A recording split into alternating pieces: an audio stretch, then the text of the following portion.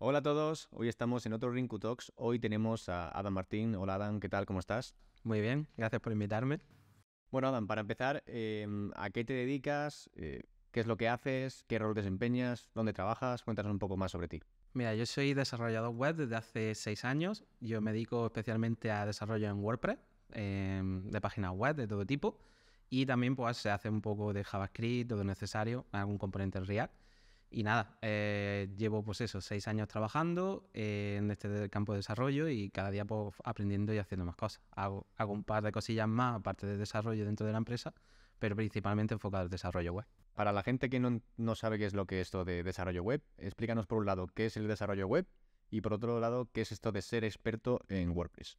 Vale, el desarrollo web, eh, cualquier persona que utilice Internet, tanto en el móvil como en el escritorio, cuando tú abres algún navegador web, pues verás lo que es una página web, ¿vale? Pues hay una persona que se encarga de desarrollar esa página web, tanto cómo se ve, cómo funciona, qué funcionalidades tiene y también cómo se comunica tanto con el usuario como con la base de datos de un servidor para saber qué se muestra y qué no se muestra, ¿vale?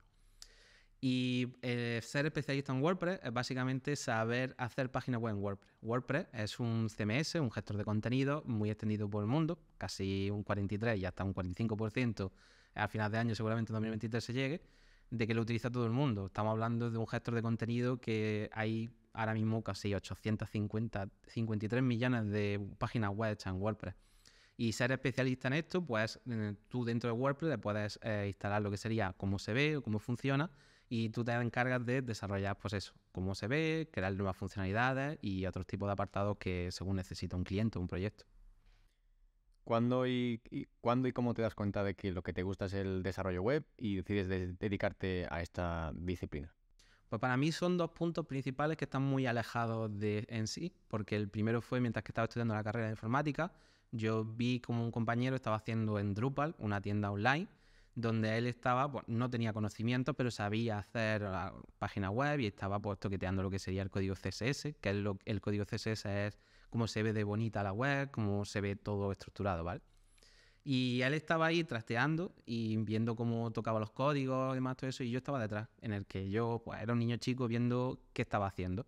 Y ahí ya me planteé en, en un momento de qué es el desarrollo web, porque yo no lo sabía, no sabía qué se podía hacer o cómo funcionaba, ¿vale? Entonces eso fue mi primer punto de partida en el pensar en que mm, a lo mejor una página web es una herramienta o un, sistema con el que puedes tú realizar funciones sin necesitar que sea un software eh, compilado con muchas más funciones y demás, sino que a lo mejor es una pieza de, que puede serte de utilidad. Y el último punto, el segundo punto cuando llegué, fue cuando ya eh, salí de la carrera y entré a hacer un ciclo en el, de Administración del Sistema Informático en Red, en el que ya empecé a tocar un poco de desarrollo web, porque durante la carrera pues no tuve la oportunidad de tocar ni de ponerme a pensar a hacerlo. Entonces cuando llegué a ese punto eh, me dieron ciertas lecciones, ciertas eh, aprendizajes mínimos y también había asignaturas sobre el desarrollo y ahí empecé yo a surfear por la hora de desarrollo básicamente. Entonces ahí ya fue una cuesta abajo porque empecé a hacer mis pequeñas herramientas chiquititas y empecé a desarrollar. También hice las prácticas en una empresa que se dedicaba al desarrollo web. Y yo empecé ya a decir, esto es lo que me gusta. Porque a mí siempre me ha gustado dedicarme a algo de informática y esto es de verdad lo que sí eh, quería hacer. Bueno, entonces dejaste eh, la universidad, digamos, y te metiste, te metiste en, un, en un ciclo. Em, ¿Qué ventajas le, viste en ese cambio? ¿no? ¿Qué, comparaciones hay con la universidad eh, y con, con el ciclo? Yo salí huyendo un poco de la universidad porque no me gustaba cómo se hacían las cosas. Yo entiendo de que las universidades son un poco más difíciles, son otro tipo de mentalidad que puedes tener a lo mejor en tu instituto y demás. Yo entiendo que son muy diferentes. Pero muchas de las cosas eran de que si yo tengo una carrera de informática, a mí me decían que las cosas eran porque sí. Y eso yo nunca, mm, no, no soy capaz de comprender las cosas porque sí. A mí me tenías que decir una lógica, me tenías que decir por qué funcionan las cosas. Y muchas veces era contestaciones de profesores diciendo, es que esto tendrías que saberlo ya. Digo yo, estoy entrando en una carrera técnica en la que estoy haciendo mi primer paso, es imposible que yo sepa antes de lo que estamos viendo. Que yo sí podría irme a mi casa, me podría leer todo el temario de todo el año y yo ya sí entendería un poco ciertas cosas. Pero muchas veces, pues, esa, esa lejanía que tiene con los alumnos la, la carrera o que no es 100% lo más novedoso o porque no te quieren necesitar forzar todo el temario, ese tiempo que tiene exacto, porque muchas veces es temario a la carrera, tienes que darlo todo y da igual lo que ha aprendido el alumno. Pues cuando hice ese paso a, lo que sería esta formación profesional, sí eh, viendo cosas relacionadas, pero estaban ya un poco mm, con tranquilidad. Se daban las cosas con tranquilidad, la aprendías, te daba tiempo a asimilarlas, y no era un porque sí, sino porque esto es por esto, esto hay que hacerlo así. Entonces, yo ese cambio lo agradecí y básicamente se lo recomiendo a todo el mundo que quiera dedicarse a una carrera de informática, porque muchas veces pasas de bachiller o de algún instituto y te vas a, la universidad y no, no hay un paso intermedio. Entonces, a lo mejor tú no sabes si tu futuro va a estar dentro de esa informática. Entonces, yo siempre recomendaré, mm, dado que yo lo he vivido, que alguien haga a lo mejor un ciclo medio, un ciclo, un ciclo superior de formación profesional, de lo que sea, pero que pruebes ese mundo antes de saltar a algo grande. No estás perdiendo dos años de tu vida, sino que estás probando a ver qué funciona. Ni tienes que hacer, por ejemplo, nosotros, yo por lo menos, que soy de un pueblo, que no vivo en una gran ciudad, yo tuve que hacer un desplazamiento, tuve que hacer, sacrificar dinero, tener que mm, invertir en mi futuro. A lo mejor un ciclo que está más cercano, pues es una forma de probar y si te viene bien y te gusta, pues piensa que si te metes en una carrera hay asignaturas que a lo mejor te quitas de la carrera con ese ciclo y ya sabes a qué te quiere orientar y cuál es el futuro al que de verdad te quieres dedicar. Sí, yo creo también que el hecho de estar en un ciclo te permite que en el primer año saber si es lo que quieres o si es lo que no quieres. Y mucha gente piensa de no, es que voy a perder un año de tu vida. No, vas a ganar un año de tu vida porque de esta manera solamente has necesitado un año para saber qué es lo que, qué es lo que no quieres en, eh, en tu vida laboral, ¿no? Hay muchas personas que están cuatro años en la carrera, el último es cuando empieza a dar más cosas prácticas y dicen, ay, pero es que yo quería lo práctico, llego a lo práctico y lo práctico no me gusta. Termino la carrera y vuelvo a un ciclo para hacer la parte práctica, para ver cómo funciona en el mundo laboral, que no tiene nada que ver la parte teórica con la parte práctica en el mundo laboral, y ya de ahí pues salto a, lo que es eh, el primer trabajo, ¿no? Em, cuando saliste del ciclo, ¿cómo fue el proceso de conseguir tu trabajo? O sea, ¿cómo pasaste del punto A, que saliste del ciclo, que si no me equivoco, ¿qué, qué, ciclo hiciste? ¿Hiciste Así, así Administración Informática. desde que terminaste ASIR hasta que conseguiste tu, tu primer trabajo como, como desarrollador web. Pues la verdad es que estuve conectado eh, a la empresa a la que iba a ir, básicamente porque conocía al jefe de, la zona y teníamos una buena relación. Es decir, compartíamos de que nos gustaba el desarrollo, nos gustaba la tecnología y demás, y gracias a él, pues, invitaba a charlas, a este tipo de podcast, por ejemplo, no un podcast como tal, sino charlas que se dan gratuitas para aprender cosas de desarrollo, de tecnología, y él siempre ponía el coche y yo siempre quería poner eh, la gana de aprender. Entonces nos hicimos una especie de unión ahí y él confió para decir de hacer las prácticas eh, con él. Entonces fue un paso que yo no he vivido lo que es estar parado después del S, sino que fue eh, hacer las prácticas en ese sitio y vamos, mm, los días que quedaban para terminar el mes, al día uno pues ya estaba contratado y vamos, llevo desde en esa empresa ya casi seis años. Eso de que se habla en Internet de que en el desarrollo o en el sector tecnológico no hay paro, ¿crees que es verdad? no hay paro. Puede haber gente en paro. Eso lo entiendo perfectamente. Porque yo entiendo de que eh, hay muchas empresas de desarrollo, hay muchas empresas de, que buscan desarrolladores, o a lo mejor no buscan desarrolladores, sino buscan gente que sepa eh, administrar sitios web, que muchas veces buscan desarrolladores y no son eh, el puesto exacto. Pero yo entiendo que haya gente que sí puede estar en paro en desarrollo, porque a lo mejor no, no ha puesto de su empeño de aprender las nuevas tecnologías o aprender nuevas buenas prácticas o, saber desarrollar cosas nuevas o no sacrificarse para estar en un puesto. Que hay paro, seguramente haya, mínimo, porque hay muchísimas empresas de desarrollo y prácticamente todo el mundo necesita estar en Internet. Tú si tienes una marca o tienes una empresa o incluso una misma persona que quiera presentarse como persona, puede utilizar una página web, una tienda online, un portfolio para un fotógrafo.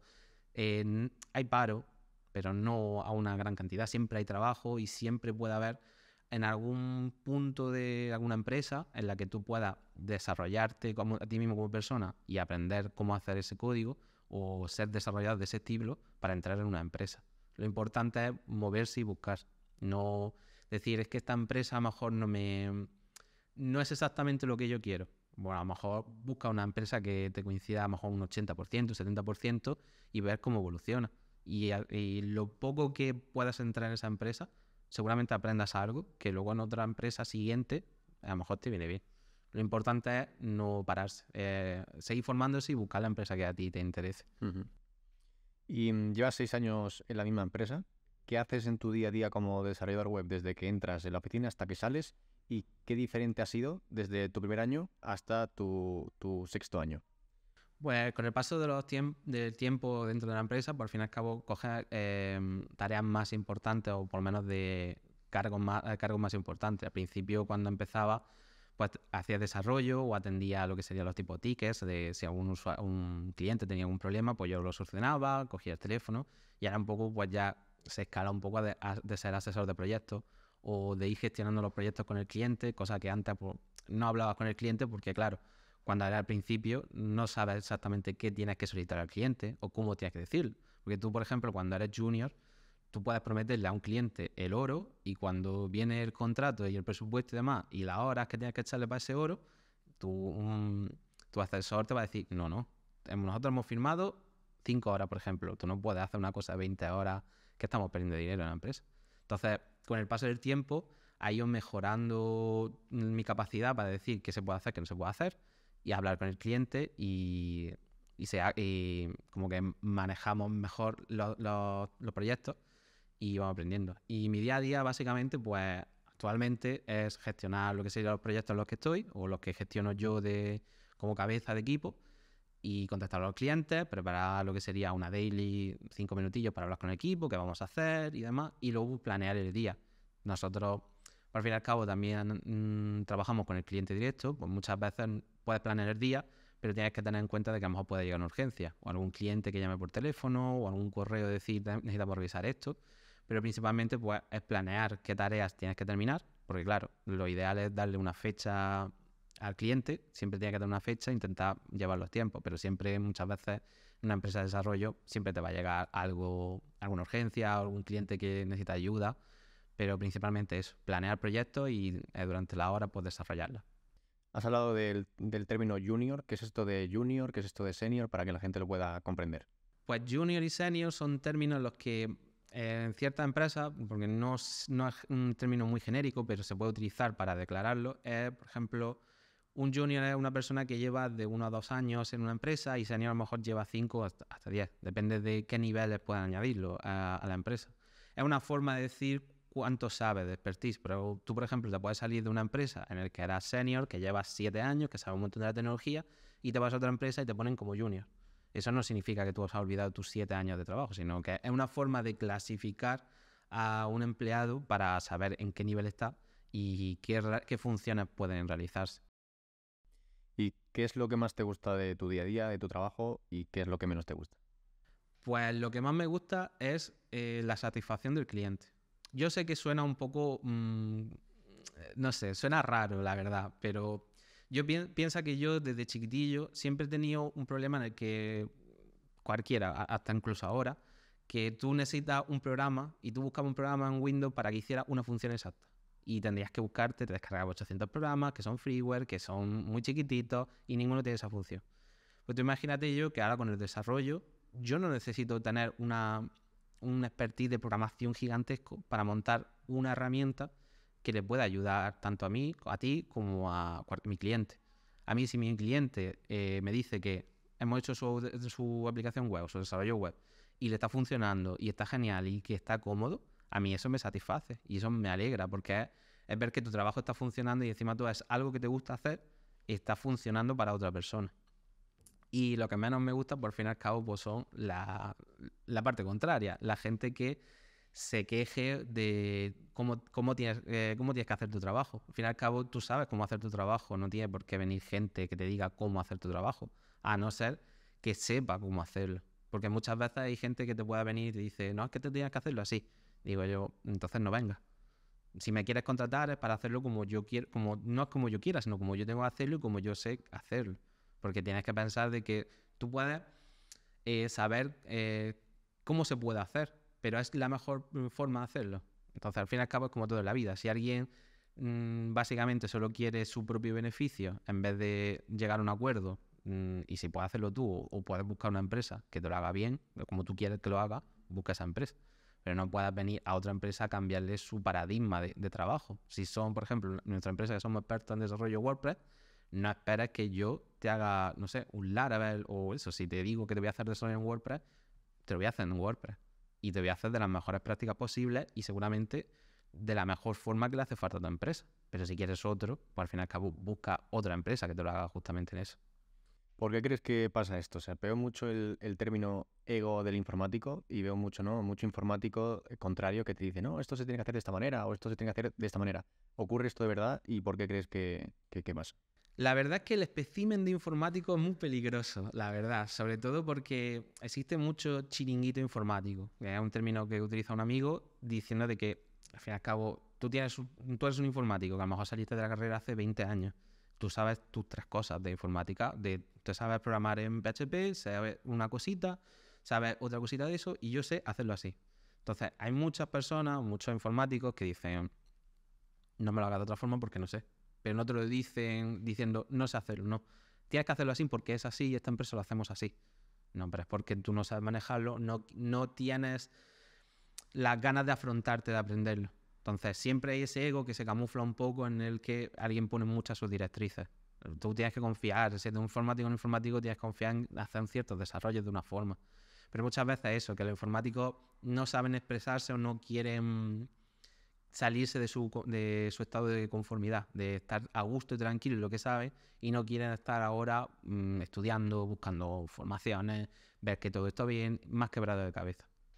Pero que sí, existe yo creo que también em, la gente tiene que tener claro que el informático todoterreno que antes, hace 20 años, se buscaba, ya no existe. O sea, la gente lo que quiere y las empresas lo que quieren son personas especializadas. Y cada vez estamos pasando a la especialización en diferentes tecnologías. Quiero a alguien experto en WordPress, que sea lo mejor, me da igual que no, que no sepa sobre otras tecnologías, pero que WordPress lo tenga súper controlado. Y voy a contratar a otra persona que sea experto en, en JavaScript, por ejemplo. Entonces, de esta manera Em, la gente está perdiendo un poco ese concepto de que ya el, el, el, profesional todoterreno se está dejando de buscar. Lo que quieren es el mejor, el, una tecnología en concreto. No sé si eso te ocurre a ti o, lo sueles ver. Sobre todo, eh, es que estamos pensando de que cuando vemos el término de informático, pues a lo mejor a ti te ha pasado si te gusta la tecnología. Eh, antiguamente el término informático era el que sabía arreglar impresora, el que te conectaba a internet o el que te instalaba cualquier programa que estaba por ahí y que, que todo el mundo quería tener. Y eso es un informático, sí, pero claro, tú buscas un, un, informático, una empresa, tú no puedes tener a la misma persona que haga seguridad, desarrollo web, eh, administración de red. No puedes, no puedes porque el mundo cambia tan rápidamente que con una sola tecnología necesita una persona que sepa esa tecnología. Si una persona, por ejemplo, de desarrollo web, hace WordPress, hace React y hace demás, si se tiene que desviar porque cualquiera de uno de ellos, eh, en algún momento va a perder no saber las nuevas tecnologías o las nuevas formas de desarrollo y demás, se puede perder muy fácilmente.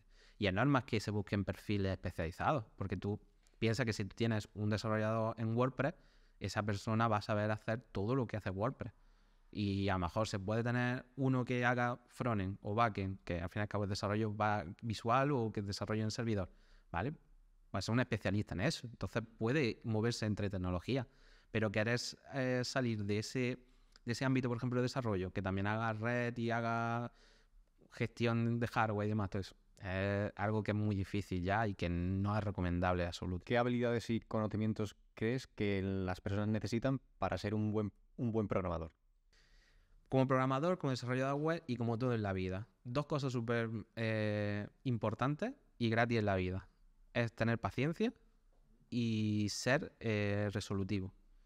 Si no tienes paciencia en esta vida, no te vas a poner a aprender a programar. La programación no sale porque sí. La programación sale porque tú estás practicando y tienes que tener paciencia de que tú no vas a hacerte el próximo Facebook o el próximo TikTok en una semana que ya desarrollo. Que yo sé que existe ChatGPT, que le, le dice, hazme una página web y te saca un código precioso, te hace la página web y ya está. Pero eso no es desarrollo web. Esa web es estática y tienes que dedicarle tiempo para que sea dinámica, para que haga su función y demás. Entonces la paciencia es importante y ser resolutivo es las más importantes porque si tú no aprendes a resolver problemas, a aprender cosas, a decir, yo tengo algo y quiero hacer esto, si tú no aprendes cómo buscarlo ni cómo conseguir ese método, no, vas a funcionar como programador, porque al fin y al cabo tú tienes que saber eh, cuáles son tus herramientas y cómo utilizarlas. Si tú no utilizas esa, esa forma de resolver los problemas, o no sabes llegar a esa capacidad, es muy difícil que, te, que aprendas a programar. Porque muchas de las cosas que tenemos actualmente es que hay muchísima documentación, muchísimas formas de aprender una tecnología, pero la mayoría están desfasadas. O por se quedan, porque claro, se va actualizando demasiado todo rápido y se quedan desfasadas. Entonces, si tú no aprendes a ser resolutivo y buscar cuál es la solución más óptima y la más actualizada, nunca vas a llegar a ser un buen programador 100%. Y luego ya, pues la herramienta es, depende de qué quieras estudiar y, y demás. Es decir, tienes que buscar lo que mejor se adapte a ti y que siempre esté actualizado, por lo menos que tú no te quedes obsoleto a lo que ya encuentres, sino que, que siempre estés informado, que vivimos en el mundo de la información, que tenemos redes sociales, tenemos formatos de, de contenido en vídeo, de documentaciones, de todo, donde siempre es importante suscribirte a un montón de newsletters. Que, que sean de lo que tú quieras aprender, pero es que una newsletter te puede llegar un día y ser lo mejor que te pueda encontrar porque te dice una herramienta que no hubiera encontrado porque a lo mejor tiene poco adapt adapters, es decir, de los primeros que confíen en esa herramienta y luego la puedes incluir en tu día a día y puede ser una herramienta increíble. Lo importante es estar siempre en comunicación con lo que tú quieras aprender, lo que quieras hacer. Yo creo que algo que valoro mucho cuando trabajo con, con programadores es que sepan cuál, cuál es realmente mi necesidad y sepan solucionarla, ¿no? Con lo que has dicho de ser res resolutivo, porque a veces me he encontrado ¿no? en la situación que dicen, no, yo quiero hacer una, una automatización para ordenar mi, mi, disco duro, porque no sé qué, un, montón ¿no? de, de, de, cosas, y luego llega el, el, programador y te dice, no, mira, todo eso que, te, que, estás diciendo no es escalable. Va a llegar tres meses y se, se, se, va a quedar corto. Entonces lo mejor es hacer esta aplicación porque es, es un producto mínimo viable en el que te funciona y a partir de ahí pues podemos sacar funcionalidades extra en el que para ir avanzando, ¿no? Entonces yo creo que es importante que muchas veces el cliente llega y te dice que quiere el mejor proyecto, quiere un proyecto con muchas funcionalidades y a lo mejor la otra persona que tiene experiencia pues te dice, oye, esto no es viable o esto sí es viable o esto es por aquí y es un poco lo que, lo que has comentado, ¿no? Que has pasado de, de cuando ya llevas seis años eh, programando y asesoras los proyectos, pues eres capaz de decir, mira, esto se puede, esto no se puede, esto tiene sentido o esto no tiene sentido. Tú piensas que también un informático es, es, es eso, es, puede ser un psicólogo a, a, la parte, a la par porque sabe lo que, a lo que se ha enfrentado, sabe, ha probado ya hacer ciertas cosas y ya sabe cómo son las mejores prácticas. Tú tienes que permitirle que un programador eh, tenga su... que sea fluido su desarrollo, porque si él ya está programando y él te asesora y él te hace de psicólogo, es porque ya sabe cómo hacerlo, no es decirle exactamente cómo tiene que hacerlo. Si hay alguna mala práctica, pues que alguien que te lo enseñe eso, y seguramente lo aprenda. Pero es eso, es también confiar en lo que sería lo informático porque son ellos los que están peleándose cada día con problemas reales. Porque tú puedes tener un proyecto fantasioso y a lo mejor lo ideal es hacer un sexto de ese proyecto, una parte chiquitita e ir escalando poco a poco. La verdad es que sí. Y todo lo que sabes ahora, si volvieses a empezar, ¿cómo lo harías? Yo, sinceramente, sería confiar en la comunidad, cosa que yo nunca he hecho porque eh, no me gusta, por ejemplo, las formaciones de vídeo que están grabadas porque se quedan obsoletas muy rápido. No, no, un vídeo tienes que regrabarlo 100%. Entonces, mmm, yo siempre me he quedado muy atrás de no, no he utilizado eso, esa información nueva. Entonces, yo, esos blogs, esas newsletters que sigo ahora, esa, esa gente que sigo en Twitter, en Instagram y demás, que son personas que a lo mejor no se dedican a generar contenido, sino que les gusta formar y, es, y muestran información, muestran cómo hacer cosas y demás. Eso no lo tuve el primer minuto y ahora es mi día a día. Mm, yo me levanto, me acuesto y cuando estoy comiendo cualquier cosa y estoy con el móvil, estoy leyendo nuevas, nuevas formas de hacerlo. Y eso, sinceramente, me da la vida como desarrollador porque cada día aprendo algo nuevo o mmm, tenerlo en cuenta. Porque es muy importante saber la experiencia de otros desarrolladores que en algún momento dices, ostras, pues eso lo leí yo una vez en este perfil y demás, todo eso. Y lo puedes ir a buscar y, y, intentar probarlo cuando toque o cuando una, cualquier proyecto tuyo personal o cuando quieras hacer alguna prueba. Es momento de practicarlo y, y aprenderlo, vamos. ¿Y qué, qué, consejos le darías a alguien que quiere ser desarrollador web y empieza, empieza desde cero? Pues lo primero, que busque eh, algo afín a él. Es decir, la persona que quiera aprender tiene que buscar cómo es eh, su mejor forma de aprender. Hay gente que aprende muy bien, muy bien leyendo libros o leyendo documentaciones. Hay gente que aprende con vídeos, más fácil, o con micro consejos, no sé, cualquier cosilla. Hay gente que aprende con Reels o con TikTok, que existe. Pero que vaya poco a poco. El desarrollo web pues, se puede empezar por lo más básico, que es lo que siempre ha funcionado, que es HTML y CSS. No so solo eso. Eh, aprende cómo se estructura la información y luego cómo dejarla bonita o de forma bonita visualmente, ¿vale? Y luego puedes ir escalando para aprender JavaScript. no necesitas saber todo el JavaScript que ahora está, se está tan de moda, sino que se puede hacer el de usabilidad en la web, meter una funcionalidad y demás, y ahí poco a poco pues ir probando y escalando a lo que de verdad quieres hacer. Porque ya sabiendo esa base, ya puedes meterte en cualquier tipo de desarrollo web. Lo único que es que quieres aprender, qué tipo de framework quieres utilizar. Los frameworks son un conjunto de herramientas para hacer un desarrollo que ya no tienes que empezar desde cero, sino que partes desde una base importante y ya pues puedes escalar. Por ejemplo, para que la gente lo entienda, WordPress podría ser un framework. Sí, WordPress tiene, es un framework por debajo porque tiene toda su funcionalidad y todas sus herramientas. WordPress a ti te permite de crear tus propios temas, que los temas son cómo se ve la web, eh, cómo se estructura la web y el contenido automático que se genere, que luego también puedes tú modificar cómo se ve ese contenido y ponerlo, pues, hacerle su usabilidad y más. Y aparte, pues también tiene lo que son los plugins, los complementos, que son funcionalidades extras que no van con el tema. Y todo eso lo puedes desarrollar y con todas las herramientas y todas las funciones que vienen en WordPress te lo facilita un montón para utilizarlo como framework, que por eso muchos de los desarrolladores lo utilizan por eso, porque tiene ya un montón de cosas ya de por sí que las puedes utilizar de base, no tienes que empezar siempre desde cero. ¿Y mm, a qué ámbito, a qué ámbito del desarrollo le debes más futuro y por qué? Yo el futuro lo veo disperso, porque aparte no soy ni visiólogo, ni, ni astrónomo, ni nada, ¿sabes? Porque yo ahora mismo estamos hablando de que ahora está súper famoso la IA. Ahora hay 800 proyectos chiquititos que son con IA, que siguen imágenes, que existe esto y demás, todo eso. Ahora estamos con la IA. Hace nada y menos estábamos con el Web 3, con el blockchain, estaba de moda. Entonces, las modas, los códigos y aparte de la evolución de todos los sistemas, es que no se puede saber cuál es el futuro. A lo mejor si quieres decir uno, pues puede ser JavaScript. ¿Por qué? Porque está ya en todos lados y ha pasado de ser un código muy simple o un código para hacer funcionalidades rápidas a ya tener un ecosistema que puede hacer frontend, que puede hacer backend, que puede hacer de todo. Entonces, ¿es una apuesta segura estudiar JavaScript? Pues sí. Eh, puede ser tener un futuro porque ahora mismo está muy abierto. Pero no implicaría, o yo no diría de que solo se estudiara eso. Porque ahora mismo está de moda, funciona bien, se está extendiendo muy bien y funciona. No, va a ser una moda pasajera.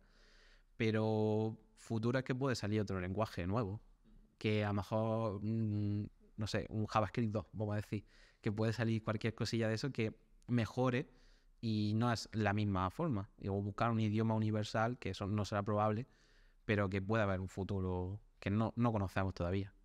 Y hablando del futuro, ¿qué piensas de la IA y, la programación el desarrollo? ¿Cómo, cómo, está afectando, ¿Cómo afecta y cómo está afectando eh, esto de la IA? Para mí la IA, eh, sinceramente, me gusta. Lo que pasa es que yo entiendo la gente que tiene miedo de la IA. En el sentido, yo he visto por redes sociales, yo entiendo que eh, esto va a ser muy polémico, que los artistas de gráficos cojan una IA y aparezca, no sé, un cuadro o una imagen hecho a su estilo. Es normal, pero siempre hay que pensar muchas veces que la IA necesita datos para seguir haciendo eso. No hay, a lo mejor siempre puede haber algún loco que va a decir, es que yo quiero los cuadros de este artista que echa por una IA como yo los quiero. Siempre va a haber un loco, pero no implica que toda la humanidad se vuelva loca. O, por ejemplo, siempre está el miedo de que nos van a quitar el trabajo, porque la IA ha resuelto problemas como el desarrollo de textos de copy, de, copywriting, que lo hace automáticamente. O para los programadores dicen que nos van a quitar los puestos de desarrollo porque ya genera código, ya genera cosas. Pero tú nunca vas a tener una IA mm, que sepa razonar 100% lo que una persona puede hacer. Porque claro, puedes meterle una cantidad de datos ingesta, pero tiene que estar muy documentada, tiene que tener mucha información esa IA para saber por qué se hizo así. Sino que la IA al fin y al cabo va a intentar buscar quién y cuántas veces ha hecho una cosa para resolver ese problema.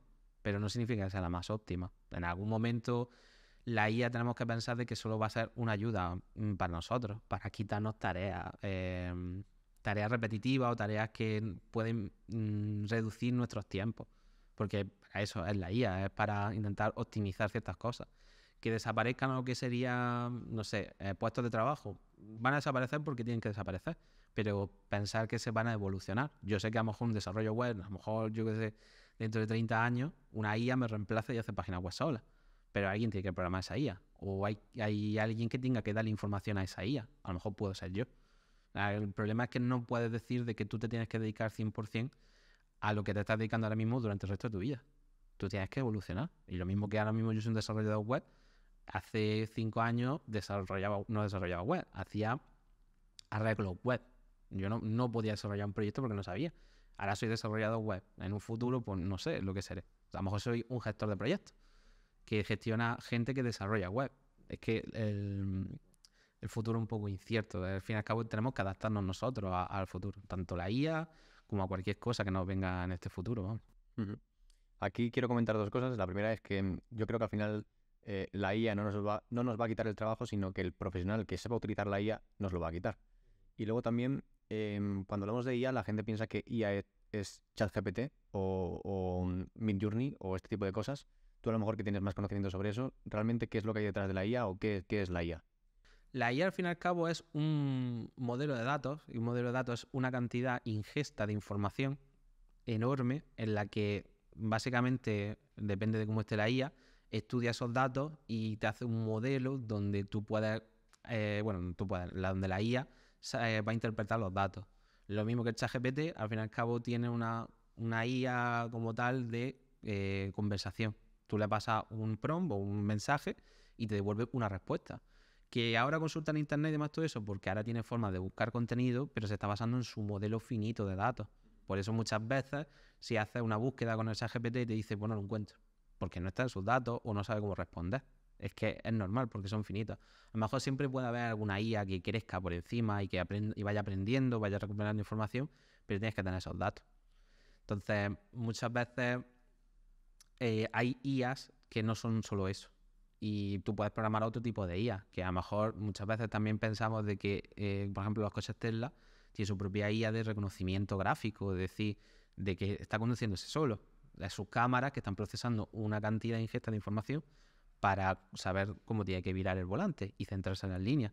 Las IA no solo son eh, quitar puestos de trabajo, es decir, hay mucha IA por ahí escondida que todavía no se llama IA. A lo mejor se, se, llama IA porque es más fácil, pero es machine learning, es aprendizaje de máquina que está poco a poco aprendiendo de nuestro comportamiento. O es que, por ejemplo, cuando nos escucha Google o cuando nos escucha Facebook por el micro de nuestro teléfono, no habrá ahí algo, una IA entre muchas comillas que están creando nuestro perfil. Es que una inteligencia artificial puede ser un montón de cosas. Lo que pasa es que lo más polémico y lo más utilizado pues siempre se suele eh, escuchar más y puede llegar a más gente. Pero ahí seguramente haya mucha IA o mucha inteligencia que estén ayudando a nuestro día a día y ni siquiera lo sepamos. Por ejemplo, lo que me parece curioso es que eh, cuando hablo con personas piensan que ChatGPT ha inventado lo que es el modelo GPT, y GPT es un modelo de lenguaje que lleva, em, yo creo que lo conozco desde 2018, o sea, un, montón de tiempo. De hecho, lo utilizaba en, e, ese tiempo, obviamente, el uso y, la calidad que, generaba no eran parecida, o sea, ni parecida, pero mm, al final es algo que ya estaba creado, que lo han modelado y lo han vendido con un, con un envoltorio muy bonito y es como la IA, ¿no? Es como lo que va a solucionar los problemas. Pero bueno, sí, es, coincido contigo que al final hay mucho marketing y que también eh, el hecho de que en nuestro día a día hay mucha IA o, Machine Learning y, realmente pues, pues no lo saben. Es que hay mucho, eso, que ahora mismo hay mucho de eso, pero que no son para, para el consumidor final. Entonces, es lo que has dicho tú. Ahora existe el GPT y, y, GPT existía antes, pero no era para un consumidor, sino era para profesionales o gente que sabía manejarse con la API, con las conexiones, con eso. Ahora pues hay más herramientas, hay más herramientas de consumidor, que al fin y al cabo es lo mismo que si yo tuviera una empresa telefónica y yo abro una franquicia con otro nombre diferente y lo llamo franquicia desconocida. Y nadie sabe que hay un chat GPT o un GPT detrás. Es decir, hay un montón de herramientas ahora nuevas. Pero ¿qué es eso? Que hay que confiar, aunque sea un poquito, que estamos, está recién empezado. Ahora todo el mundo va a querer sacar su IA. Pero ¿por qué normal? Porque la IA no se ha inventado de por sí. La tenían ellos, pero ahora van a hacer un, producto eh, público un producto para el consumidor final para atraer público y aprender de ese público. Porque es eso lo que necesita la IA, datos e información que, para ir mejorando ese modelo. Bueno, ahora quiero pasar a la parte de programación segura, ¿vale? Em, ¿Qué es programar de una forma segura y, cómo es de importante? Es el 100% de tu trabajo, de importante. Y hay que no hablar solo de programación segura, sino programación defensiva. Eh, tú cuando programas tienes que defenderte de todo, no solo de atacantes, no solo de gente maliciosa que, busque su beneficio, sino hasta defenderte de tu propio cliente o de la gente que va a utilizar tu desarrollo. Porque tú tienes que hacer una programación defensiva en la que tú tienes que pensar si una persona va a fallar o si una persona te va a atacar por alguna forma. Tú tienes que ver que todas las posibles vías en, en, tu código no sean explotables o no puedan que la explote un usuario normal. Es pensarlo como, no sé, coger una botella y hacerle agujeritos, que es por donde puede entrar o salir el agua. Pues tenemos que buscar la forma en la que programar eso para que no salga el agua o cuando tenga que salir que salga de forma correcta. ¿Y eso lo aprendes tú por lógica? Eh, ¿Hay especializaciones dentro de la, de la, de la programación? O, mm, porque me he encontrado muchos casos de, programadores que han hecho herramientas o han hecho aplicaciones y no tienen en cuenta este, este concepto, ¿no? De hecho, ahora con comisiones obreras que ha salido y se ha publicado lo que lo han hackeado y ves el proceso de, del hackeo que han, tenido y son eh, conceptos seguramente bastante básicos de, de programación y, y, no lo tienen en cuenta. Entonces, ¿esto cómo se aprende? Como has dicho, son eh, los errores son básicos, pero es que muchas veces que hay tantos tipos de posibles errores que no te da tiempo a aprenderlos. Eh, muchas veces los programadores se quedan un poco en, en, el principio. Mejor si tú manejas una tecnología, sabes hacer tus cosas, pero no sabes cómo mejorarlo, optimizarlo. Esto lo aprendes. Lo ideal es seguir, eh, ponerse a aprenderlo todos los días, ir aprendiendo, leyendo, estudiando, viendo, no sé, si hay alguna vulnerabilidad, aunque no te afecte 100%, que sepas cómo ha pasado. diga, ostras, pues a lo mejor mi forma de desarrollar no sé hacerlo. Yo, porque, por ejemplo, hace un par de años yo no sabía a lo mejor sanitizar campos, es decir, limpiar campos para que no hubiera ningún problema, además. Pero yo cuando vi el primer, la primera persona que me dice, es lo importante, es lo más importante que tenéis que hacer, dice, ostras, es verdad. Y es una función añadirla más a tu tipo de desarrollo. Y ya poco a poco lo haces mecánico. ¿Qué es esto, perdona, que te interrumpa de sanitizar los campos? Sanitizar los campos es, por ejemplo, si un usuario eh, puede, dispone de añadir un bloque de texto de una base de datos, imaginaros que a lo mejor por cualquier cosa rompe ese bloque de texto y ahí crea un punto de conexión a la base de datos, sin quererlo. Que alguien venga y con, un código inyecte código y se vaya a la base de datos. Pues sanitizar los datos es coger que ese bloque de texto que ha introducido el usuario a evitar que no haya ningún carácter que pueda pasarse a, lo que sea base de datos o que haya algún tipo de exploit. Es como limpiar los caracteres para, para que solo sean web y que solo se puedan usar en la web, básicamente. ¿Y qué herramientas y recursos utilizas para ver si un código es limpio o si, es seguro o no? O sea, ¿utilizas alguna herramienta? Eh, ¿Simplemente testeas la aplicación y dices, oye, voy a ver este campo si puedo eh, inyectar código? ¿O cómo haces todo ese proceso? Lo importante es que eh, cómo hay una herramienta, mm, cómo va a haber una herramienta si muchas personas desarrollan de muchas, de muchas formas diferentes. Es decir, seguramente hay herramientas que te comprueben y demás todo eso. Por ejemplo, WordPress sí, tiene plugins hechos por la propia comunidad de WordPress, por el equipo de WordPress, para revisar si hay prácticas malas. Entonces, lo importante para tú eh, tener esa herramienta y demás es utilizar las prácticas, eh, las buenas prácticas de, de, ese desarrollo, del tipo de desarrollo que hagas. Y luego, pues, es eso, tener la mentalidad de ser defensivo, de buscar mm, que no te puedan introducir ese código, porque al fin y al cabo piensa que cuando haciendo un desarrollo web hay pocos puntos, eh, puntos vulnerables, porque te tienes que pensar de que si estás haciendo desarrollo web plano, eh, donde hagas la consulta en la base de datos, que esté protegida, que esté ofuscada, que esté limpia de que no pueda inyectarte código. Entonces son buenas prácticas que seguramente cualquier, se utiliza un framework, se utiliza un tipo de lenguaje, tienes que ir aprendiendo y tienes que ir eh, haciendo. Herramientas, pues puede haber un montón. Básicamente es que depende de qué te quieras enfocar. Siempre muchas veces lo que yo digo es de intentar ser lo más transparente posible al usuario. Es decir, que todo lo que tengas que hacer que tenga que implique que haya algún eh, que pueda conectarse a alguien a la base de datos, pueda hacer algo, lo hagas todo en el servidor, para que se quede en el servidor. Y que la parte pública, la web, sea lo más limpio y lo más vacío posible, que se vea bien, claro, pero que no le dé tantas pistas al usuario, porque es que un error informático, es que es eso, los problemas que has dicho antes son básicos. Entonces cualquier cosa básica te puede eso, pero hasta la cosa más compleja te puede arruinar. Entonces la idea es intentar ser lo más transparente y que no darle tantas pistas a, ese atacante. ¿Y qué buenas prácticas, ya has hablado un poco, pero qué buenas prácticas recomiendas cuando la gente eh, programa? ¿Qué es tres consejos como esto es, esto es la Biblia de tienes que hacer esto, esto y esto sí o sí cuando haces algún código. Lo, lo más importante es sanitizar los campos, lo he dicho antes, porque es muy importante, porque tanto eh, los datos que, se, que te pueda introducir una persona en un formulario o como un usuario que esté utilizando una plataforma la imprima, que, bueno, que la añada en la base de datos y la pueda guardar, es un peligro, 100%. Entonces es muy importante eh, limpiar esos datos y que no sean peligrosos para ti. Otro punto que yo diría para el desarrollo, eh, siempre utilizar tanto buenas prácticas como estar siempre actualizado.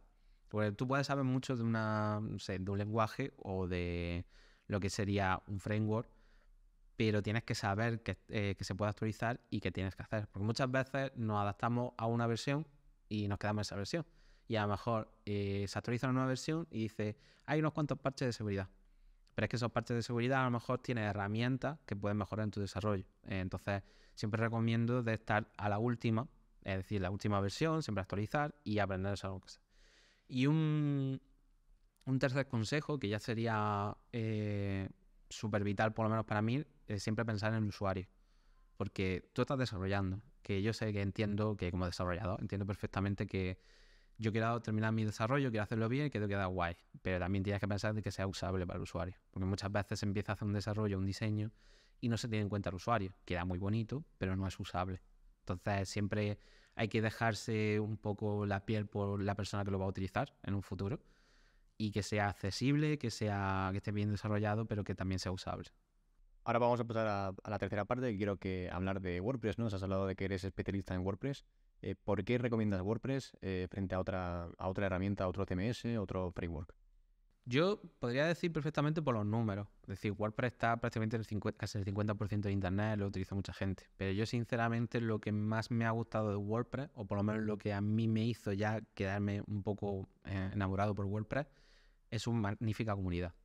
Tanto la española como la global, su comunidad es brutal. Porque te, no quieren ganar dinero solo por WordPress. Tiene su propia empresa, tiene sus cosas, pero siempre hay gente que está por, sí mismo dando sus charlas, enseñando cosas nuevas, haciendo nuevas integraciones para WordPress, está trabajando en el core de, WordPress, ayudando y demás, y siempre están haciendo meetup, quieren hacer quedadas para hablar un poco de WordPress y demás, eso. Entonces, esa comunidad te acerca mucho a cómo es el desarrollo en WordPress y te dan ganas de seguir aprendiendo. Es algo que a mí me enganchó muy fuerte y vamos, asisto tanto a Meetup, que es cuando se puede, y a la WordCamp, que son los eventos un poco más generales de WordPress que se hacen por provincia o por país, donde tú vas y a lo mejor te tiras un fin de semana entero eh, viendo charlas no solo de WordPress, sino de cosas relacionadas con WordPress y demás, y puedes aprender muy bien. Y la verdad es que WordPress es una herramienta muy completa si de verdad utilizas WordPress.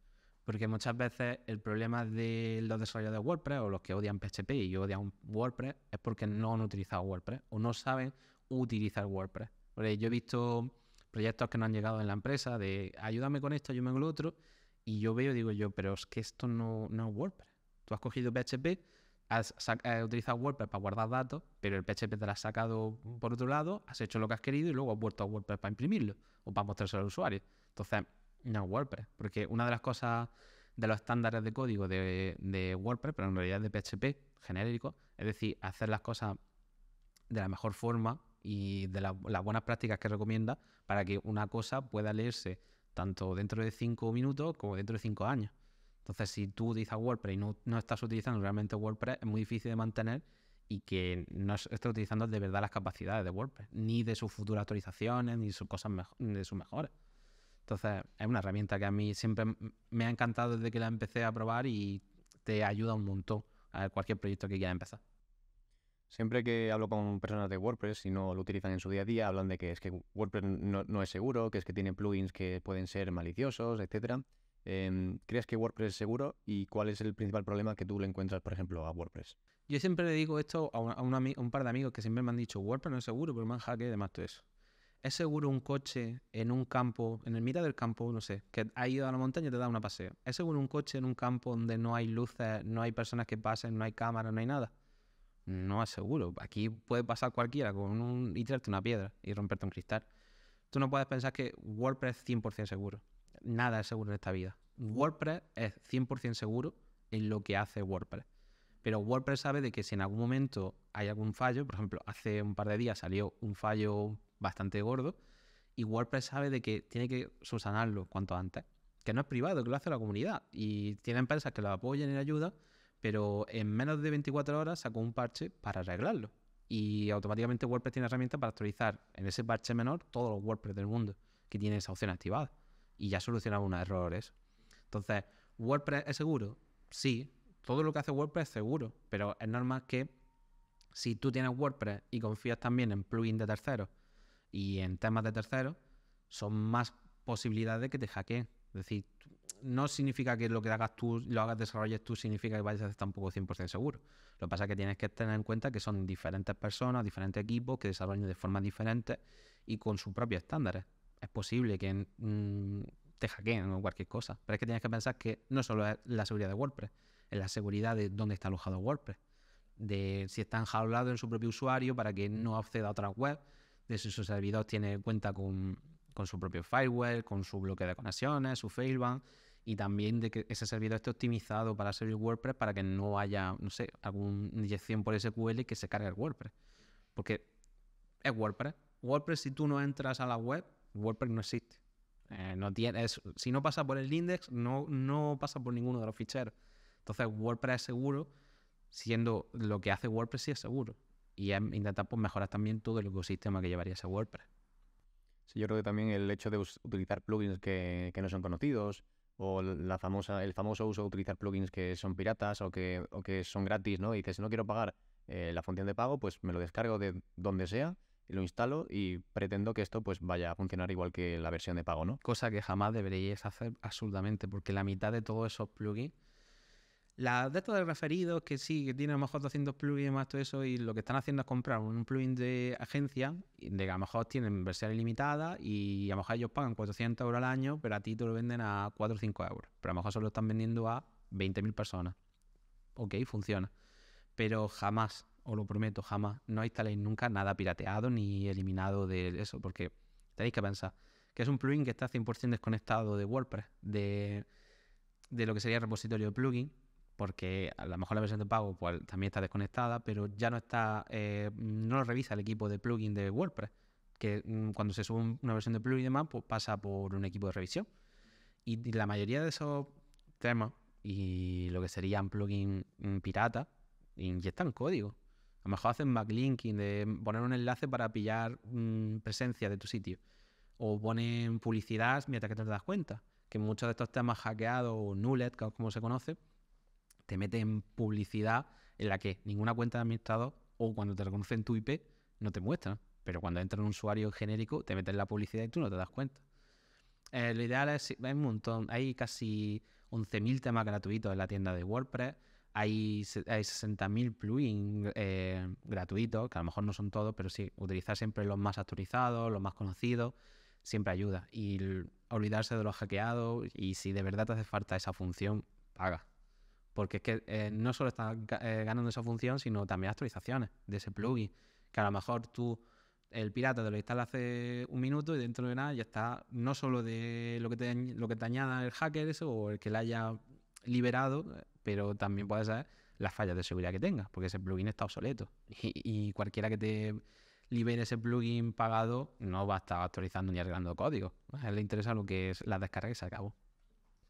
Yo conforme va pasando el tiempo y me voy enfrentando a diferentes WordPress para intentar eh, vulnerarlos, me di cuenta de una cosa muy importante y es que cuando tú, por ejemplo, eh, atacas una, aplicación hecha a medida, al final lo que hay es una empresa detrás o tres personas o una persona detrás de esa aplicación, que hay muchas más posibilidades de que esa persona eh, cometa errores.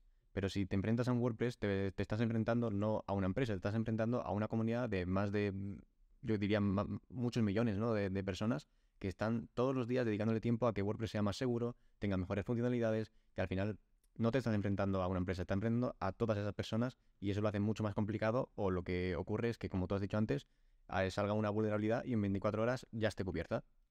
Entonces también hay que tener en, cuenta eso, que no es tanto la, aplicación en sí, sino lo que el usuario hace con la aplicación. aplicación. Es que WordPress es justamente eso. WordPress a ti te permite hacer lo que tú quieras. Si lo haces de la forma WordPress, de hacerlo bien, genial. Porque WordPress lo que te va a hacer es tener tu núcleo, tener todas tus funcionalidades que se van actualizando y no, si se rompe algo, pues lo típico, tienes que tener buenas prácticas de desarrollo, actualizarlo en tu entorno local o en tu entorno de staging, de, de prueba, hasta actualizarlo y cuando está todo ok, lo subimos a producción, que es donde el sitio que ve el usuario final. Pero WordPress, justamente eso, WordPress Mm, es tener un núcleo o un gestor de contenido que esté siempre actualizado y que tenga las buenas prácticas. Y tú lo que necesitas adicionalmente lo tengas al lado y es de lo que más te tienes que preocupar. Y recomendación 100%, no modificáis el núcleo de WordPress, el core. Es decir, eso está hecho para que no se modifique. Si te da todas las funciones, te da hooks, te da todo lo posible para que no tengan ni que modificar sus propios códigos. Te lo da todo. Te da hasta puntos de control de decir, ¿quieres meter algo aquí? Ponlo aquí. Toma esta función para decir, mete este código justamente en la línea 28 del fichero desconocido. WordPress te lo da todo para que no lo modifiques. Porque claro, con cualquier actualización, esos ficheros eh, se van borrados y se vuelven a descargar para que sean los correctos. WordPress al fin y al cabo es una herramienta muy útil para un desarrollador, pero es eso, que mucho hay que conocerla, 100%. ¿Y qué tipos de ataques has experimentado en WordPress o con, clientes, en páginas web? Cuéntanos alguna. Uf, ha habido de todo y, me encanta, la verdad. El mejor ataque que me hizo un, una... Bueno, no me hizo nadie, no fue ni un ataque, pero el mejor ataque fue el bot de Amazon. Eh, no es nada malo, sino que, por ejemplo, los Alexa, los altavoces inteligentes de Amazon, tienen un bot que para recomendarte cosas, pues eh, básicamente empieza a hacer un reconocimiento de toda la web, si entiende, por ejemplo, que era una tienda o lo que sea, me hizo prácticamente una denegación de servicio, porque estaba consultándome la web prácticamente 20 páginas al segundo. Entonces, eh, a lo mejor nosotros pues tenemos una, lo, que lo que es un hosting a medida para esa web, que no tenía tantos recursos porque no tiene tanto tráfico. Entonces eso se va escalando según va necesitando recursos. Entonces ese bot me hizo una denegación de servicio preciosa. Y no nos dimos cuenta, salvo teniendo logs de conexión y demás, todo eso, y que el bot se identificaba con Amazon Bot, y menos mal. Pero ataques reales de WordPress, a mí el que me gusta es el de los casinos, 100%, que el de los casinos es que puede entrarte por cualquier, cualquier lado tú puedes tener 800 plugins de seguridad en WordPress. Yo he visto WordPress hackeados con, con fireware, eh, anti-spam, anti-bot, con 20 millones de y los hackean. Porque son plugins, al fin y al cabo. Es fácil decir, me salto los plugins. A lo mejor la vulnerabilidad está fuera de, un plugin y está dentro de un tema. Y si tienes, entras con un tema y entras en el editor de archivos de WordPress, le inyecta un poco de código y ese código ya inyecta a otros ficheros, se acabó. Y el de los casinos me encanta porque básicamente es encuentra una vulnerabilidad, que yo ese de los casinos lo he visto tanto por un fichero de un tema, como un fichero de un plugin, como una vulnerabilidad del servidor mediante un disparador, un trigger de SQL, que lo añade y se borra al momento. Y eso es lo que te hace crearte pues 300 entradas en tu blog, no en la última entrada, sino se va a las más antiguas para que se mezclen con tu contenido. Y ahí mete pues su backlinking, su enlaces de referido y sus cosas así para que automáticamente con tu presencia y con tu nivel de escalado que has hecho de forma orgánica, se aproveche de, ese posicionamiento de tu web y le dé pues, enlaces eh, de importancia a eso. Y lo más importante es coger todas esas URLs, cuando eh, lo bloquees el sitio y que nadie pueda acceder, coges todas esas URLs, las guardas y luego las borras para que luego cogerlo en tu Search Console y borrarlas de Google. Porque Google si tu blog, por ejemplo, tu WordPress muy conocido y, y está Google visitando o utilizando el Index Now y cualquier cosilla que se indexe rápido, eso va a indexar muy rápido y todo eso tienes que borrarlo. Pero hay un montón de formas. Es que ese es el problema. Como hay tantas variaciones o posibilidades de si puedes hackear o a través de un tema, un plugin y demás, todo eso, te va a venir cualquier cosa. Lo importante es intentar buscar las mejores prácticas y bloquear lo máximo posible que puedas hacer. ¿Cómo respondes a, estos ataques, a, estas infecciones? ¿Qué es lo que haces? Lo primero que haces cuando, por ejemplo, te llama un cliente y te dice, oye, me han hackeado la página, no sé lo que ha pasado, pero no puedo entrar y me aparece publicidad maliciosa. ¿Qué, es lo que haces? Yo primero intentar bloquear el acceso a cualquier persona. Es decir, yo eh, cojo el sitio y si puedo, depende del hosting del cliente, depende de si está nuestro servidor y demás, es ponerlo en modo mantenimiento o en modo bloqueo. Que nadie pueda acceder, ni siquiera el cliente que sea lo, más mm, rápido, ¿vale? Yo que sé, bloquearlo con tu HTTPS WD para que necesite un nombre de usuario y una contraseña. Sobre todo para que nadie pulse ningún enlace de ese código malicioso, eso, eso que nadie se infecte. Si me tengo que infectar yo, que soy el desarrollador, porque voy a probar. Y lo primero es analizarlo todo poco a poco. Ya hemos bloqueado, ya hay nadie que pueda hacer. Eh, ¿La infección es demasiado grande? A lo mejor tira de una copia de seguridad. Eh, ¿Se puede limpiar? Pues ¿qué podemos hacer? Si es un WordPress, vamos a analizar los ficheros del núcleo. Existe una, una herramienta que tiene que puede utilizar a través de la terminal de Linux o terminal de cualquier. si te conectas al servidor por SSH. Y WordPress tiene lo que se conoce como WP-Click, que tú puedes conectarte a tu WordPress a través de la, terminal. Y hay, por ejemplo, un comando que es wp core del núcleo de WordPress, espacio eh, verify checksum, que básicamente lo que va es ese plugin, ese plugin, ese, ese programa tiene ya el código único de cada fichero y te van a analizar carpetas. Pues eso es una forma fácil de saber, ostras, pues me han modificado estos ficheros o me han modificado estas cosas del núcleo. Ahí la mayoría lo suelen hacer así. O te suele decir que cuando existe a lo mejor un fichero que está suelto y dice, uh, este, este no es del núcleo de WordPress. Es una forma de saber cómo limpiarlo. Si tienes un control de versiones también de tu web, es más fácil también de verlo. Y otros consejos, pues también todos los plugins, borrarlos y reinstalarlos de nuevo, porque si te ha entrado por ahí, seguramente venga por ahí. También analizar los logs de justamente cuándo ha pasado, si te ha generado un URL o cualquier cosa, eh, pues revisarlo. Eh, ver si te han metido por los comentarios. Mm, tienes que analizar un montón de formas de lo que tienes que hacer. Pero lo importante siempre es desconectarlo para que nadie vuelva a hacer, porque muchas veces eh, las web se infectan porque es otro usuario que ha ido a meterse y se ha infectado y se han ido a otro sitio. Entonces, mientras que tu web también la tenga enjaulada, que es decir, que tu web suelte no solo en un servidor, sino, por ejemplo, en un usuario donde no puede acceder a otra web, pues genial, es otra forma de seguridad. Pero depende también mucho de la infección. Pero la mayoría, al fin y al cabo, como tus datos están guardados en una base de datos, eh, pues si está cargando un código, busca ese código en la base de datos. O busca que, mm, mm, códigos eh, en el sentido de que tú estás viendo que se está inyectando, que se puede hacer. Que muchos lo que te hacen es inyectar un PHP que consulta a una API externa y te mete ese código, entonces no te aparece. Entonces, un truco muy chulo es buscar si hay alguna función de base 64 que básicamente lo que está codificando lo decodificando para que no se sepa exactamente el código que está metiendo. Y la mayoría de plugins no debería utilizarlo ninguno. Entonces tú vas buscando ese, ese base 64 por todos lados y encuentras otras posibles maliciosas. La, verdad es que es muy curioso, porque sale de todo y la gente es muy ingeniosa para, para ver exactamente cómo llegar a infectar un WordPress. Para hacer el mal siempre somos más ingeniosos. Sí, sí, por supuesto. En relación a seguridad, cuando creamos una página web en WordPress, ¿cuáles son como tus, tus checklists de yo necesito para crear una página web en WordPress hacer esto, esto y esto? ¿Qué es lo que podrías recomendar? Pues lo primero son las necesidades de, a lo mejor, propio del cliente. Tienes que ver que lo que necesita eh, puede ser de alguna forma atacado o puede ser de alguna forma, eh, no sé, cualquier, utilizado de forma indebida. Porque tienes que Mm, planearlo de cómo hacer ese desarrollo de forma segura y que no haya ningún problema de hacer ese tipo de desarrollo. Y luego pensar qué tipo de WordPress vas a hacer. Porque WordPress puedes hacer una página o puedes hacer un blog, puedes hacer una tienda online. Vale para todo, pero siempre hay que buscar un hosting seguro, que esté optimizado para WordPress, que tenga buenas prácticas, que tenga sus métodos de firewalls, tiene su bloqueo de bots, tiene sus cosillas así. Y aparte, pues, aparte del hosting que pueda manejar ese WordPress. Y de seguridad, pues eso, todo lo típico y lo básico que sería un WordPress de eh, no utilizar nombres de usuario de admin o claves súper fáciles o decir que el admin es el nombre de, del dominio. Intentar evitarlo, no mostrar los usuarios, que da igual que se muestre un usuario porque tiene que haber una vulnerabilidad real para poder eso, pero no intentar utilizarlo.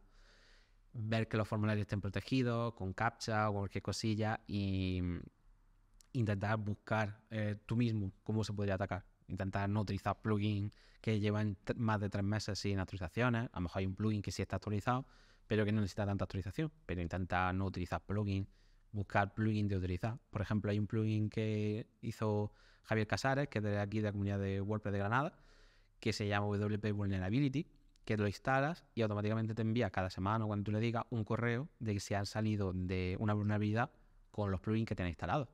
Y a lo mejor tú vas actualizando tu WordPress cada día, perfecto, pero a lo mejor sale una actualización por la noche y sale una vulnerabilidad muy grave y tú no te das cuenta hasta que entra a la página del plugin.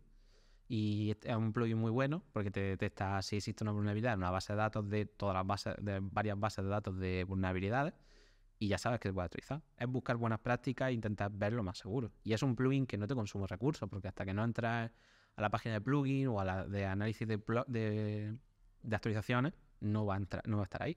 A lo mejor sí que tarda un microsegundo cuando estás dentro de un admin, pero en, la parte del usuario no, no va a afectar. La cantidad de plugins no afecta al rendimiento. Y son, son prácticas, que hay un montón de utilidades que se pueden instalar y se pueden mantener ahí, que son seguridad pasiva. Pero principalmente pues importa mucho lo que es el nivel del proyecto. O no va a instalar 800 millones de herramientas de seguridad de WordPress para un proyecto muy chiquitito, pero sí tener buenas prácticas y bloquear cosas por las que no te entre un, un usuario por algo básico o simple. Bueno, eh, vamos a pasar a la última parte, ¿vale? A las preguntas rápidas. Em, ¿Eres más de software o de hardware? De software 100%. Si tuviese que programar en un solo lenguaje, de por vida, ¿cuál sería? Diría que como están las cosas ahora, JavaScript. Porque PHP dicen que está muerto, y espero que no esté muerto porque ha avanzado demasiado. Ya está la 8.4, si no me equivoco.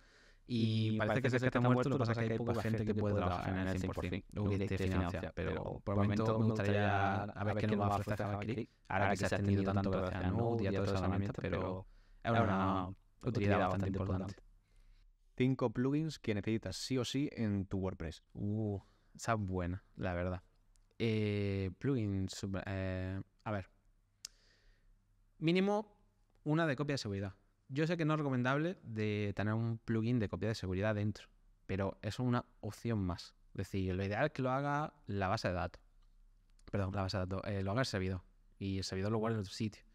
Que lo puede hacer a nivel de servidor, a nivel de sitio y también lo puede hacer a nivel de WordPress. Tu WordPress puede tener un plugin de copia de seguridad y esa copia de seguridad, pues te lo guarde en otro sitio. Importante tenerlo uno, que es, a lo puede fallar, además todo eso, pero hay plugins muy buenos que hacen esa copia de seguridad. Otro plugin, deseo. Da igual que quieras utilizar, busca el que te más te convenga, porque yo sé que existe RackMath, el Yoast, el One, hay 800. Pero mínimo ten uno deseo. Que yo sé que WordPress en un futuro quieren meterlo esto de forma manual, por lo menos las funciones básicas, pero WordPress ahora mismo no tiene funciones básicas para eso.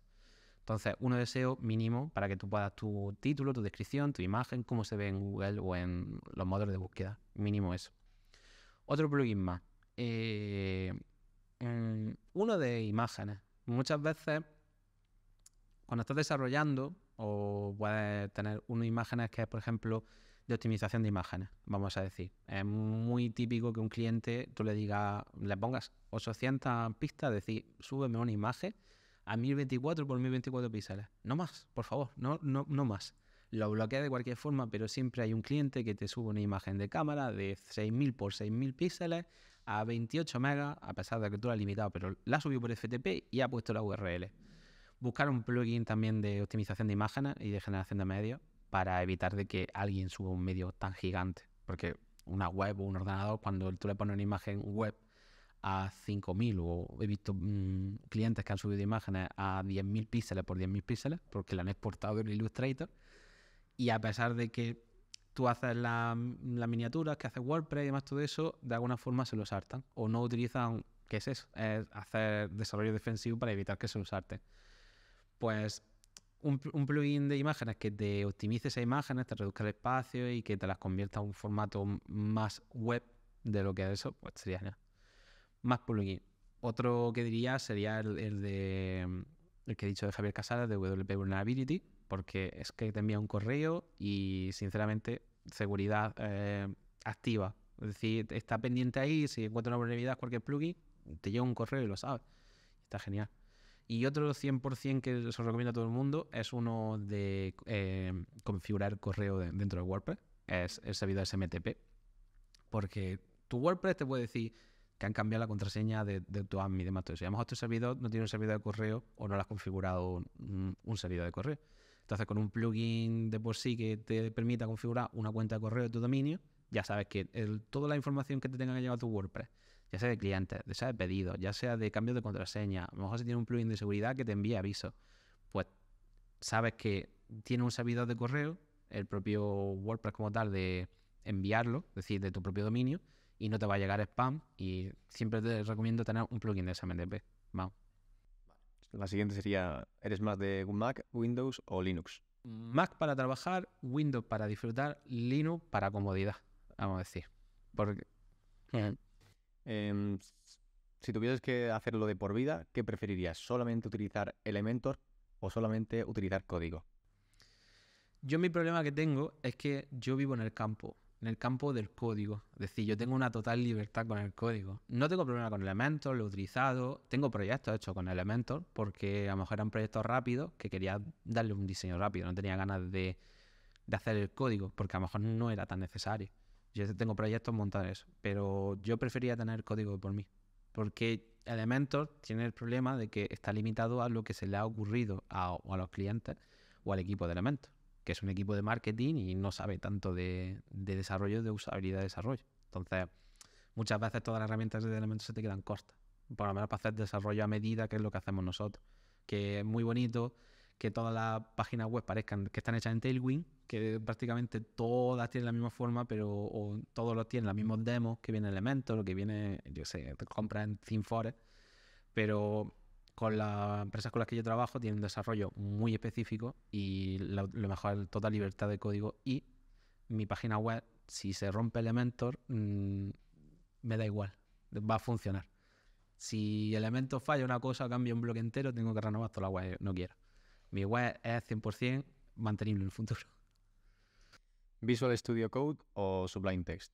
Visual Studio Code para trabajar 100%. El Sublime Text, yo era un enamorado, me encantaba, utilizaba el Package Manager 100%, pero Visual Code, sí, 100%, porque está muy adaptado para un desarrollador y puedes hacer un montón de cosas. Un Sublime también, pero vamos a, vamos a hablar claro y que Visual Studio Code ya está mucho más extendido, mucho más usado y hay un montón de plugins y un montón de, de todo, de todo lo que quieras. Si tuvieses que utilizar una IA para programar, ¿cuál sería? Eh, voy a decir la que estoy utilizando ahora, que es GPT. Eh, me gusta mucho GPT, cómo funciona. Al fin y al cabo, tienes que aprender a hacer los prompts en condiciones. Y yo me quedaría con esa, con toda la gama familiar de GPT. Porque ahora mismo, por ejemplo, estoy utilizando el GPT Vision, que es para analizar imágenes, pues estoy haciendo un proyecto en el que necesito analizar 300 imágenes que tienen texto y demás, y yo quiero pasar todas esas imágenes a WordPress de eh, organizar todos los datos, prepararlo todo y ese GPT me va a pasar un JSON, ¿vale? Entonces yo por el momento estoy contento con GPT porque todas las demás IAs las veo un poco verdes o por lo menos no al nivel que tiene GPT. Y GPT pues está creciendo con sus más y con sus menos, pero por el momento me quedaría con la familia GPT. Bueno, pues hasta aquí el podcast de hoy. Muchas gracias, eh, Adán, por estar aquí y, por venir. Eh, os dejo abajo en la descripción sus redes sociales por si queréis ver su profesional y nos vemos en la próxima. Paz, bits y código. Chao.